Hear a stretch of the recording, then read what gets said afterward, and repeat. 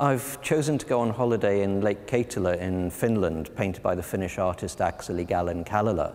And I've chosen this painting for the feeling of calmness, serenity, um, and general restfulness. It's got these beautiful, cool grey tones, have the wonderful still water with the reflections upon it.